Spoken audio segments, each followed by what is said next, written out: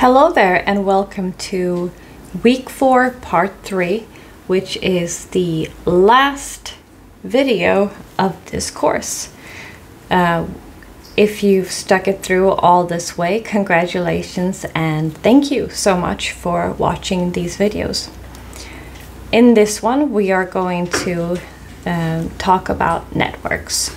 So in this last video, we're going to talk uh, about um, everything from how networks connect to um, the different types of network that exist.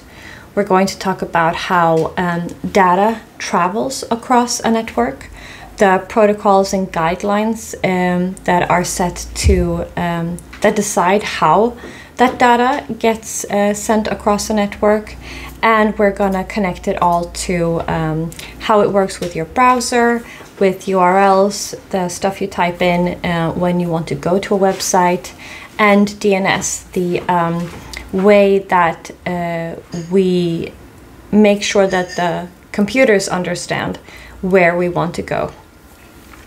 So, um, why this is all very important is because very, very soon you're going to uh, get introduced to terms like HTTP or um, uh, routing or um, um, other terms, uh, URL, um, DNS, that um, are going to be helpful helpful to you to understand how um, the stuff you code gets sent uh, across uh, the network. And if something goes wrong and you get a message uh, that says that couldn't connect to DNS server or something, um, then you might know a little bit about what's happening. Uh, or you can say what's the difference between HTTP or HTTPS and um, understand why you need to use one, not the other. Um, and you're also going to get introduced to some other types of uh, protocols that we're going to discuss. And then when you um, get in, in, contact with uh, SSH, um, which you will, I think, pretty much as soon as you start, you'll have an idea of what that is. So without any further ado, let's get into the last video uh, about networks. So let's start with the concept of a network. What is a network? A network is uh, a bunch of devices that are connected together so that they can share resources and transfer information between each other. Now, we have local area networks, which are, for example, um, your house. All the devices there are connected to each other in a local area network. We also have um, the internet, which is the biggest network of all. Um, it is a network that connects all of these smaller networks together, a network of networks, so to speak. The internet uses this complex systems of routers and servers that are interconnected to send data from um, its origin to its destination. Um, that's why we have a router at home, and that is part of all of that entire system of networks. Um, and this is what allows uh, us to share information online, connect online, um, and um, this is what a little bit about what we're going to go through. And the computer itself is a very important part of a network. When networks communicate with each other, they need to connect to the, the router, the medium that's going to transfer on the information that is going to be sent. So we have a few different ways that we can connect our devices to the router that's going to then send on the information. We have something called a wired connection, which is using an Ethernet cable and you plug that into the your computer and you plug it into the router and the data then travels through the wire to the router and then gets sent on off into the off into the internet and continues on. And then we have Wi-Fi, which is a wireless uh, connection. So you don't need a wire to um, send information from your computer to the router and then further on. Uh, instead, it has an antenna that sends uh, radio waves to your router. It then picks that up and sends it on further along. The advantages of an Ethernet cable or, or a wired connection is that um, it's a lot faster and there are fewer delays. Um, if you are uh, streaming a game or a movie and you want that to be very uh, smooth and without any hiccups and with no uh, loss in quality or or in um, latency, you don't want it to buffer and you don't want to wait for that information, then a wired connection is uh, the way to go. It's going to be a lot more reliable faster and allow for more data at once to come through.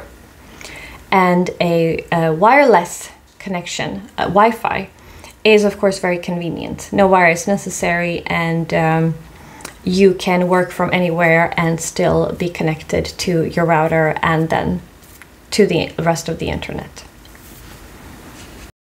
The issue with uh, Wi Fi is that since it's a radio signal, it can be disrupted by anything that can disrupt a radio signal. Um, walls, uh, other electronics um, can disrupt the signal and create issues in transmission and um, be uh, a hindrance in uh, getting your information or sending your information in a reliable, stable way. So, when we talk about Wi-Fi uh, using radio signals to send information, how does that exactly work? Well, there's a device in your computer that uh, remakes the data that you want to send into binary, ones and zeros. Um, once that's done, there is an antenna, if you're using Wi-Fi, that is going to transmit radio waves. So these ones and zeros the values uh, of that, the sequences of that, get encoded into the properties of the actual radio signal. So, for example, if you have um, a snippet of binary code that's 1011, uh, that might, uh, those values might be um, how you change the frequency of the radio signal. Or if you have another bit of information, um, that is 01001 that those values are then uh, the values that change the um, strength of the radio signal so we take the binary values and we uh, use those to modify the radio signal itself so then that radio signal with these modified characteristics um, from the from the data we want to send gets sent um, as a radio signal to the router. The router receives that radio signal and it um, tracks and records those values from um, the different characteristics of the radio signal. And then it, from those values, uh, turn it in, turn, um, get back the binary uh, code itself. So it works this way that you have the code, you use this code to change the signal. The signal sends, and then whatever the values here are, that's what the router gets as information. And then it uh, beca- uh, turns into uh, digital data again, and it gets sent off, off uh, on into the rest of the internet. My uh, cat refused to not cuddle, so uh, please welcome a special guest of Hexy, my cat. Try to ignore the purring. Um, so then we're going to talk a few a little bit about different types of networks. So I've already mentioned the local area network, and you might recognize this because that's a LAN. Um, that is uh, when a network is localized and there are a bunch of devices connected to each other in a very local area. You also have something called a WAN, which is a wide area network. So that is uh, just a bigger geographical area and it links a bunch of LANs together. because the likelihood is quite large that you're going to get into contact with the word switch, I would like you to just know what it is. So, a switch is a device that um, directs traffic between different devices in the same LAN. Now, beforehand, um, these might have been separate devices, but most modern routers come with the switch built in. So it both, both has the capability to um, direct traffic within a LAN in between those devices, as well as uh, send data on towards the, um, the internet and the, the biggest network of them all. Um, sometimes when you program, you might come in contact with these things when there are error messages, and knowing what a switch is and a router is and their jobs can be useful to troubleshoot and to just have an understanding of how it works. And even the fact that you need something to direct traffic uh, between devices in a LAN is good to know. That it works on that level that um, you need something uh, like a switch to tell data where to go, to route the data where it's supposed to go. Another type of network is a personal area network, or as we commonly know it as uh, Bluetooth. Um, so that is also another type of network uh, that people might not be aware of. So there are different types and they work in a little bit different ways, but what they all have in common is that they connect devices together.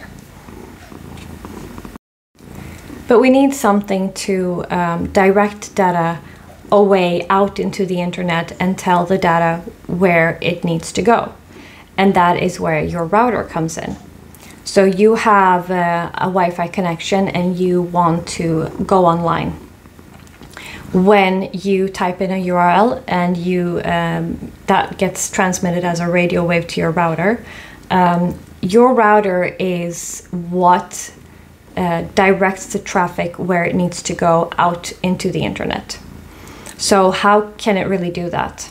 Well, routers come with uh, databases um, with tables um, that have routes or um, paths that data should go. So, depending on the destination, it has these tables that are designed in a way to find the quickest and most convenient way uh, to your destination. So routers come with that, and that is how they can then direct uh, the flow. They have a map built into them in the form of a database. So these maps, these, the, this information about um, possible ways to send data are called network paths. And each router then um, on the table when it knows when it has that network path uh, sends it along to the next destination along the path the next router actually then that router sends the information along to the next router and it can do that because when you send um, when you want to access a website the route the tables uh, they look they look up the IP address and then depending on the IP address and depending on the quickest network path in their routing table send it to the next router along that path. So the data then really jumps from router to router, server to server until it arrives where you want to go. Um, and this process of um, looking at the IP address, looking up what's the most the fastest most convenient way to get to your destination um, and then sending it along the part where you send it along to the next router is then the next hop. So each router sends it along to the next hop on the way to the destination where it's supposed to go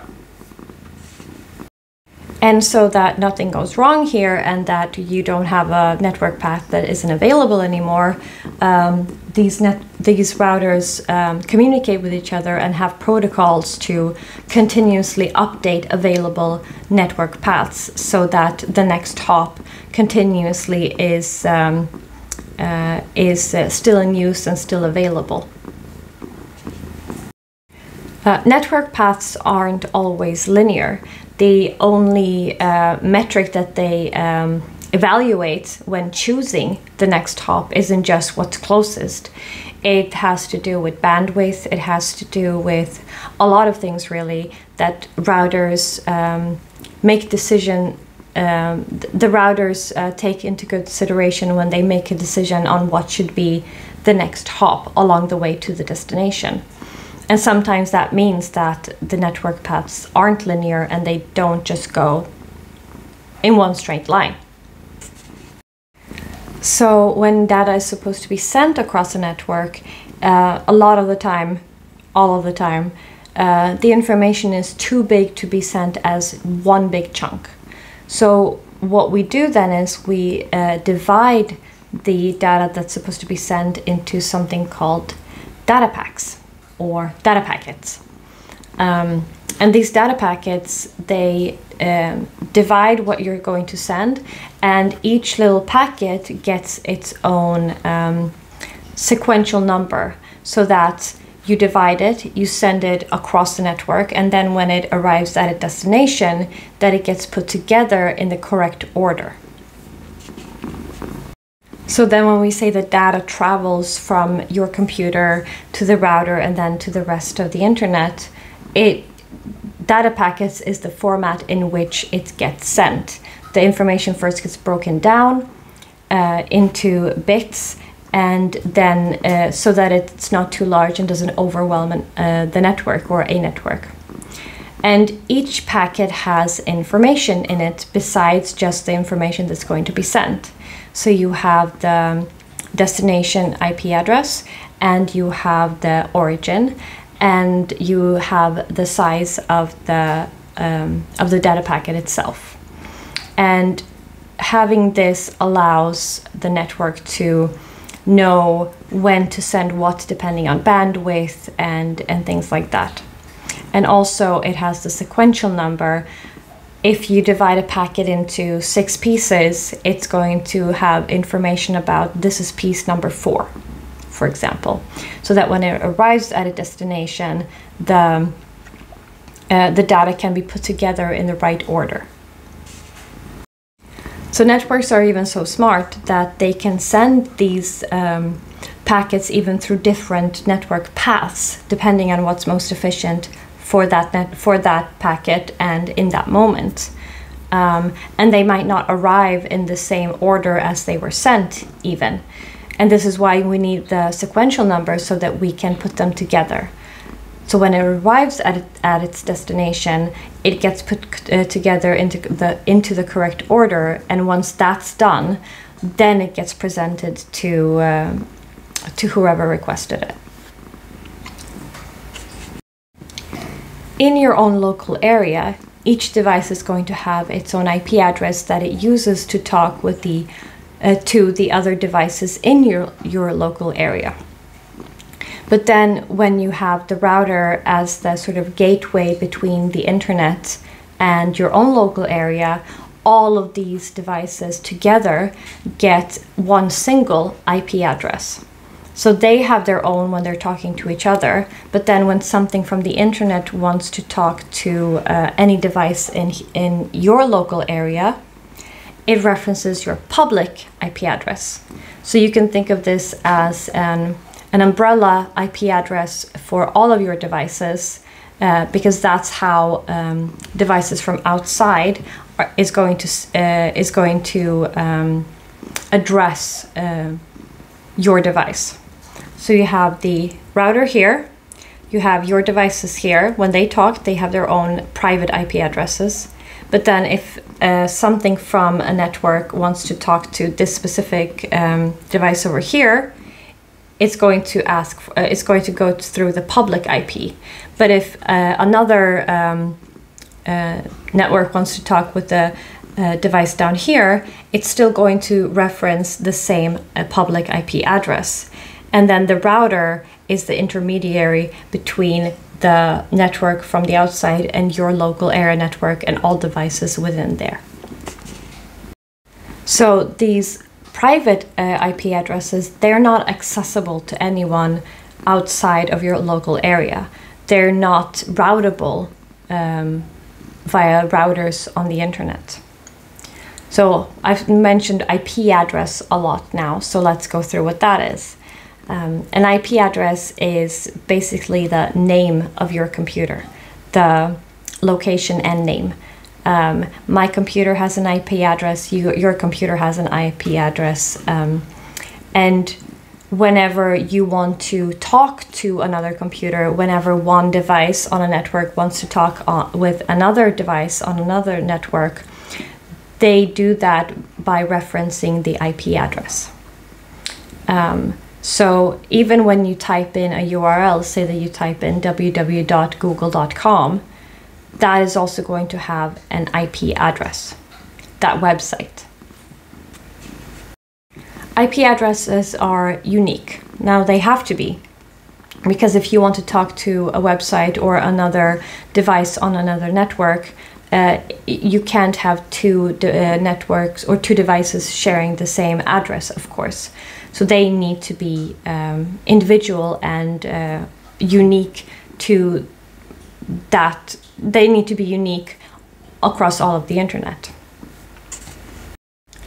So since um, private IP addresses aren't routable through the internet, how does this communication happen and how does it get converted into a public IP address? Well, routers use something called NAT, which stands for Network Address Translation. So it takes your private uh, IP addresses and converts them into a public one. Then that public IP address is then provided uh, by your internet service provider. Um, so NAT is how the private IPs get converted into a public IP address. And the reason we have this uh, public, private, and um, NAT and routers converting this is um, for one reason just to preserve IP addresses. So if uh, IP addresses need to be unique so that you can navigate to it and route to it, imagine if every single device had a unique identifier. By having a local area um, that have private but then um, a gateway with the public, we conserve IP addresses, and then the router can do the job of when data comes in to your local area uh, and wants to go to a specific device, the router then can take care of the routing to that specific device um, instead of us having way, way, way too many and too long IP addresses. So we need to conserve the IP addresses. We've discussed so far how um, data gets uh, divided, how it gets sent from your device to your router, how it moves along uh, from one router to the other using the next hop. Such a funny way of explaining it, or the expression itself. Um, and we've discussed uh, addresses and how they can be public or private and how that works. So there's also the matter of the guidelines and protocols of how data gets transmitted across uh, networks. So these protocols are guidelines and rules for how data should be um, sent um, and uh, how it should be transmitted and received on the other end. Um, setting up rules for how that communication is going to look like. So when sending data across a network, the protocols that are uh, responsible for that are, are called the TCP IP protocol, the transmission control protocol. So what that does, that is uh, the protocol that decides how your data gets uh, segmented into these packets uh, it makes sure to uh, open up a connection and that there is a connection between the sender and the receiver of the information, the data. And it makes sure that it arrives uh, without any errors and that it gets um, put together in the correct order uh, when it reaches its destination. So, the most important thing here to remember is uh, the TCP handshake. So the uh, TCP protocol is the protocol that is responsible for making sure that there is a, a clear, open, and um, available connection between the sender and the receiver. So the client sends a message to the server, and the server responds, and then another uh, message is sent from the client to the server saying that, "Yep, I got your response. We're good to go." So it's a three-way message back and forth, and that is the TCP handshake. And what this does is make sure that um, both sides, both the sender and the receiver, the client and the server, um, have open communication lines and that there are no errors in the transmission process. Now, the IP part of the TCP IP protocol stands for Internet Protocol. And this is the protocol that is responsible for actually routing and directing the, the data flow and the traffic over the networks. And it does that by uh, attaching a um, IP address to each packet that's going to be sent along the network so that uh, the routing also uh, knows where to send it along.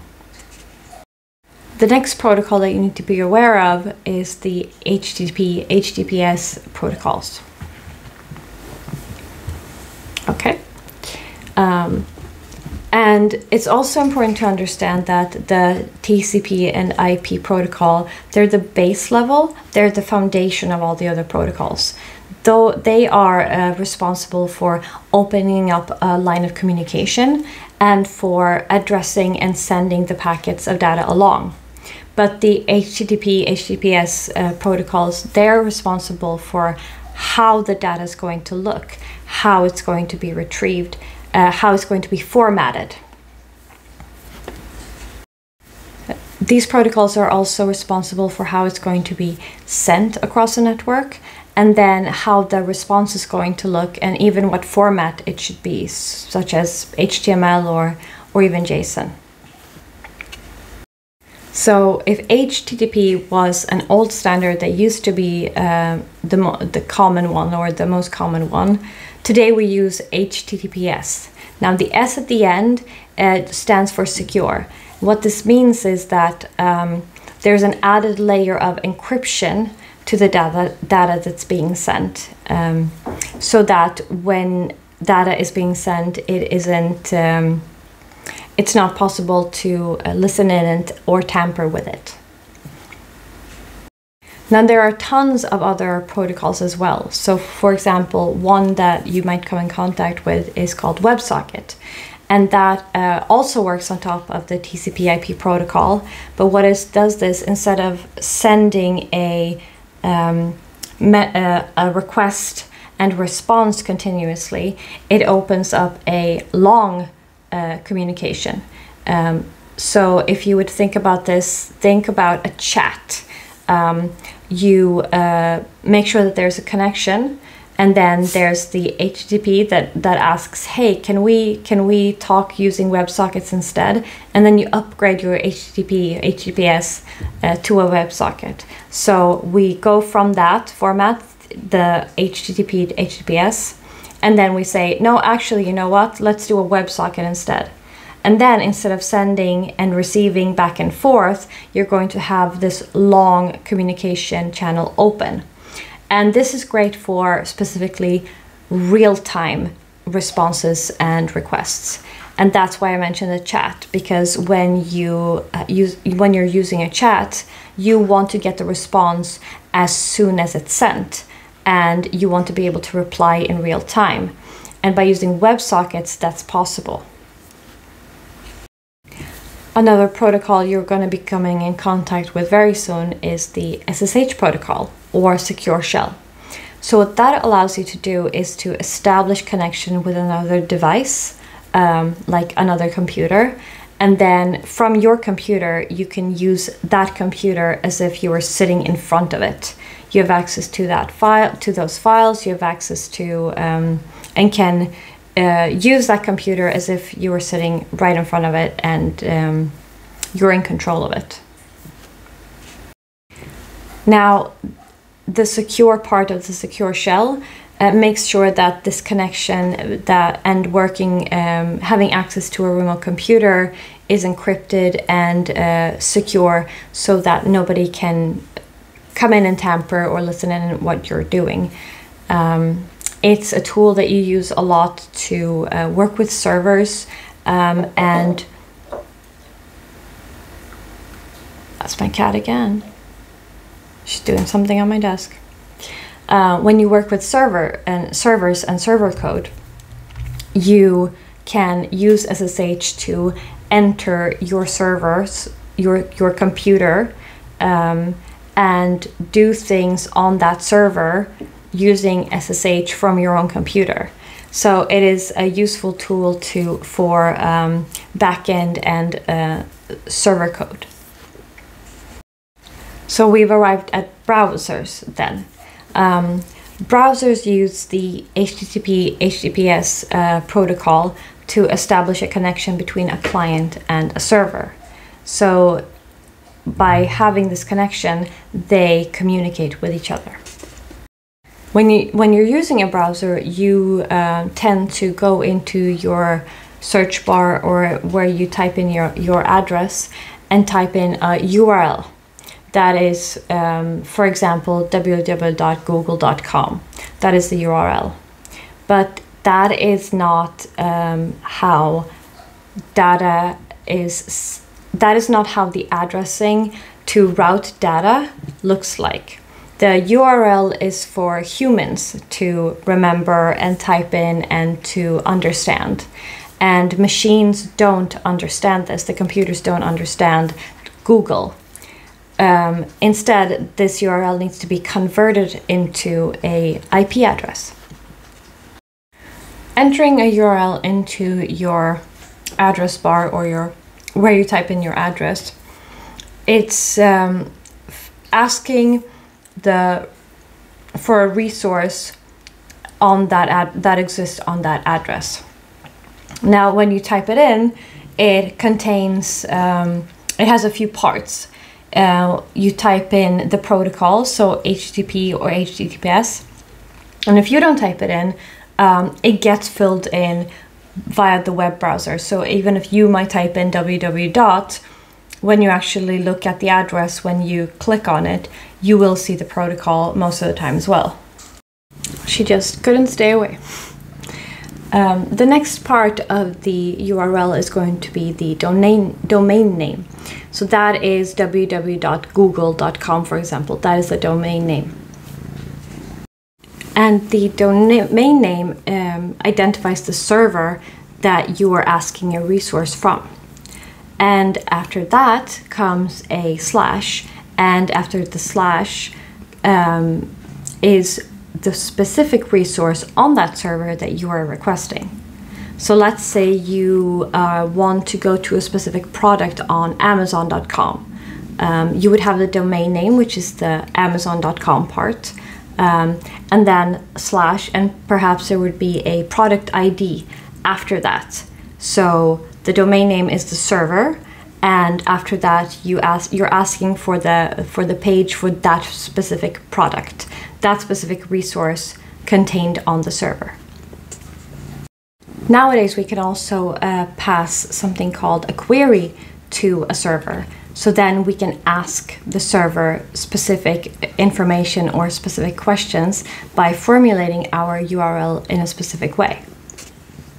Basically, just like when we uh, write a function, we can have parameters in our um, function declaration.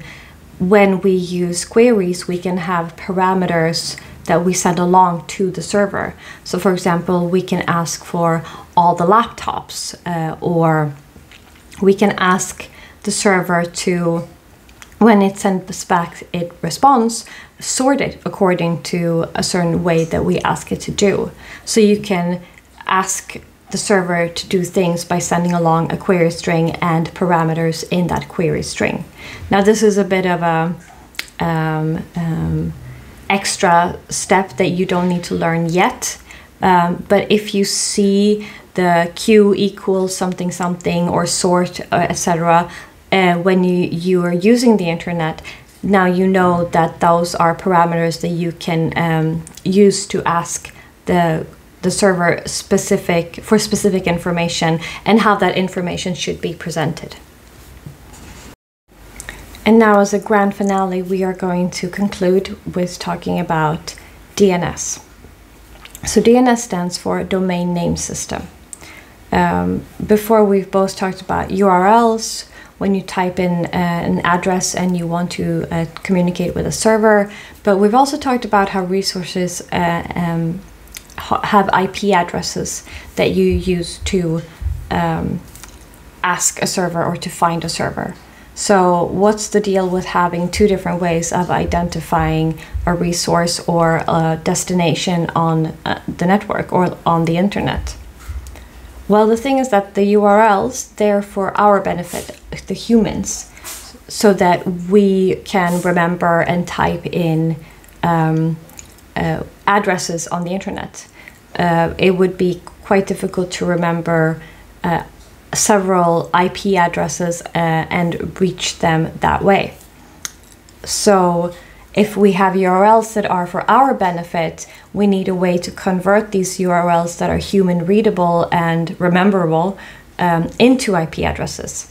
And that's where the domain name system comes in. It takes the URL that you and I remember and converts it into the IP address. How this works essentially is that there are servers that have um, tables where a URL is correspondent to an IP address. So before any data gets sent anywhere, you uh, send a query, uh, a request to a DNS server and you ask, ask it, hey, this URL, can you please send me back the IP address for this? Once you receive the IP address, that's when you can send data further along. Um, sometimes this, uh, if it's a website that you go to or a server that you ask for information, uh, often this um, IP address could be saved in your cache so that you don't actually need to send a request all the way to a DNS server. So usually when you type in a URL, first you check if you have that uh, IP address, that conversion stored in your cache. And only if it sees that it doesn't, that's when it sends along a uh, request to a DNS server. And just how routers have tables and how they communicate with each other to make sure that paths are up to date and still usable. DNS uh, servers also communicate with each other, and if one DNS server doesn't have the conversion for the specific URL you are, want to convert into an IP address, uh, it's going to continue and ask another server until one of the servers that gets asked can convert it into an IP address. And then it gets sent along back to you. Uh, you get the IP address, and from there on, you, it's possible for you to send a request to the server using the IP address itself and not the URL. So, all of the concepts that we've talked about today, and really in this entire course, uh, have been very broad and general and to give you an overview and an idea. Uh, sometimes educators tend to um, be passionate about their subjects and want to give you all the detail at once. And it's very easy to get lost in the details along the way. You sort of narrow your focus and become very, uh, very you, you focus on one small part and then you zoom in on the next part and the next part and you kind of fail to see the whole instead. The whole picture the whole how things are connected. Um, and sometimes you might when you do that you see this part and this part and this part and you understand them individually but you don't really understand how they connect back to each other and you don't get an overview. You don't get a sense of understanding for the context. So, all of the um, concepts and ideas that we've discussed in this course, of course, have a lot more depth to them if you go into more information. And you might need to, depending on what you're interested in and what you want to do later. I think even in, in the provided reading material, a lot of the stuff that I've talked about um, goes into deeper detail. Um, but by hearing these broad and general concepts and ideas, you get to you get to have a context and you get to see the whole picture and how they how things relate to each other.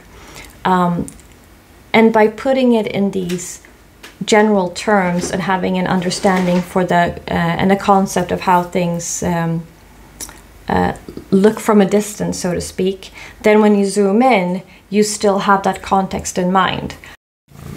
As a special treat for finishing this course, you'll get to watch my cat being snuggled. so, by having this uh, overview of how things work and um, this uh, quick one liner and understanding of how things are, um, when you zoom into the details, then you still know what the bigger picture looks like. You might have a more under, better understanding and you might uh, be able to go into detail, but you won't get lost in the detail in the same way you might if you go and look at each individu- individual piece um, step by step. Um, and I feel like this happens a lot, and especially in the world of programming and computer science, where people want to give you all of the information at once and they want to give every single piece of relevant, relevant information at once. Um, not understanding that if you do that, you might lose the most important bigger picture. Um, there's lots of things that you can talk about, for example, how a computer saves something to memory. But what you need to know right now is that there is a memory and that when you create a variable uh, it saves uh, the computer saves that variable to its memory. And when you reference that variable you retrieve the value um, of that variable. Uh, the computer goes to where that uh, that variable is stored and gives you the value that that has been stored in that memory cell. Now you could go into so much more detail about that but what you need to know is that there's memory and you save it and you can retrieve it. Um, and no matter how many details you learn about that, um, the bigger picture is what's important here. Um, and if you go into information overload about how this memory is saved and what processes go into it and so on and so forth, then it's difficult. It's easy to get lost into in that. So hopefully this this uh, course gave you not a detailed look into programming and computer science and, and sort of an introduction to all of that, but an over, overview, a broad overview, so that when you come in contact with these terms, they're not completely unfamiliar and you can place them uh, in context with each other. You'll know that a URL and DNS has to do with networking you'll know that a variable is something you use when you code. You know that a terminal is um, is a, is a UI that you use to communicate with the computer uh, using text commands. You'll know that um, uh, a function is a repeatable set of instructions. You'll kind of know these things and you know how they relate to each other. You'll know that a virtual machine is a, a faked computer inside of your computer and so on and so forth. So that is my hope that after this course, you will have a lay of the land. Um, words that you might hear and come in contact with are a little bit illuminated without getting bogged too down too much by detail and that you can see how these concepts that we've talked about relate to each other and um, how they're connected to each other, how they influence each other. So um, I'd like to say thank you if you managed to watch all of these videos. Good job. um, and thank you for um, taking the time to um, read and take this course and listen to me ramble on about computers and programming. Uh, and I wish you luck um, and I hope that you are going to enjoy coding and programming and the world of computer science. And I wish, I hope for you that um, you remember um, the we the lesson about mentality and how important it is for you to allow yourself to make mistakes and grow and trust that even though you might not understand everything right now, you trust in yourself and you trust in the process, and that if you just keep at it, that you will understand one day, one day soon. So, uh, once again, thank you and good luck and uh, have fun.